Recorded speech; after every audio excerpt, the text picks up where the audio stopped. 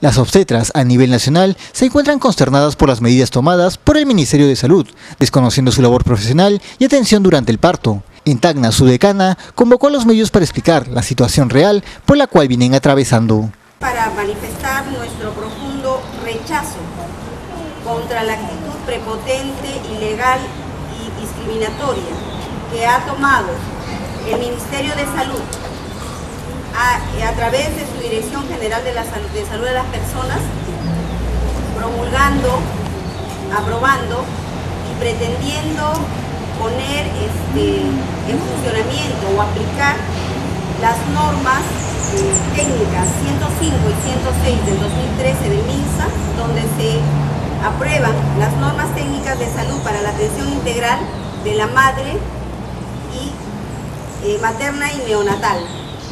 Estas normas han sido aprobadas el 24 de diciembre, previa a la Navidad, y publicada en el peruano el 25 de diciembre, con las resoluciones ministeriales 827 de 2013 y 828 de 2013 para cada norma. Lamentablemente estas normas ya fueron observadas oportunamente por el Colegio de Obstetras del Perú por ser discriminatorias, por vulnerar la ley 27853 al decreto supremo 008 del 2003 y el reglamento de trabajo de los CETRA. Nuestro perfil profesional, nuestras labores están amparadas por ley y una ley no puede ser modificada ni violentada por una norma de menor jerarquía, es una resolución. Que a la ministra Midori de Javis se le ha informado formalmente, verbalmente y en reuniones técnicas que el Colegio de Obstetras del Perú no iba a permitir que sus normas violenten nuestra ley de perfil profesional, ella se ha atrevido a firmar y publicar esas normas sin ninguna modificación respetando las observaciones que habíamos hecho llegar nosotros, oportunamente. Lamentablemente en estas normas nos están excluyendo de lo que es la atención prenatal reenfocada, lo que nosotros llamamos el control prenatal, que es la raíz y esencia de nuestra profesión.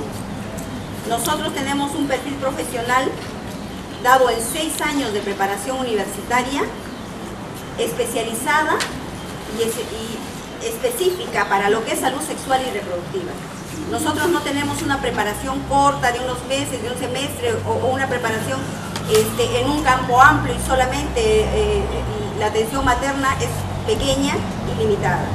Nuestra preparación es específica especializada. Patricia Montalvo indicó que se reunirán con todas las bases a nivel nacional y tomarán medidas legales frente a esta situación.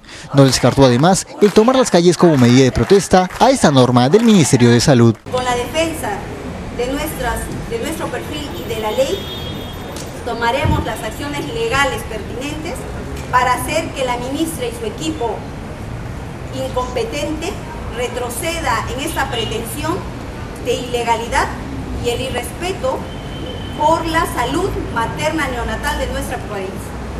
Nosotros trabajamos con la mujer, con la familia, con la comunidad y trabajamos defendiendo los derechos de la madre y el niño. No vamos a permitir que estos derechos sean vulnerados. Las calles, a poner en alerta a la población de la violencia con la que la ministra está actuando, lo tendremos que hacer.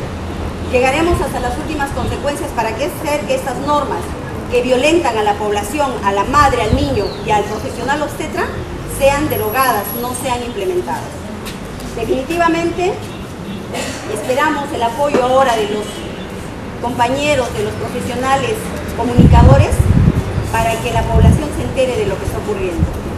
Lamentablemente no estamos respetando la legalidad y el Estado de Derecho en este país.